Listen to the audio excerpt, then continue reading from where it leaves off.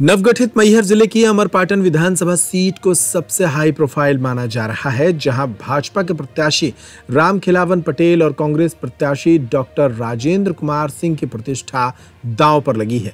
दोनों ही दलों से कोई बागी नहीं, बल्कि आमने सामने की सीधी लड़ाई है। इस क्षेत्र का मतदाता ज़िले का सबसे जागरूक मतदाता माना जाता है, जहाँ पूर्व मंत्री स्वर्गीय रामहित गुप्ता को छोड़कर कोई आज तक लगातार दो बार विधायक नहीं बना। शायद इसी समीकरण के चलते राम खिलावन पटेल की टिकट अंत तक लटकी रही।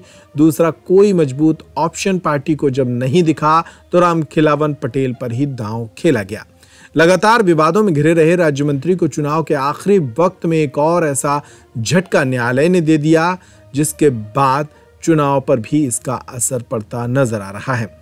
दरअसल रामनगर नगर पंचायत के पूर्व अध्यक्ष एवं पार्षद राम सुशील पटेल और उनकी पत्नी सुनीता पटेल वर्तमान नगर पंचायत अध्यक्ष को आपराधिक मामले में दोषी पाए जाने के बाद उनके चुनाव को शून्य घोषित कर दिया गया है।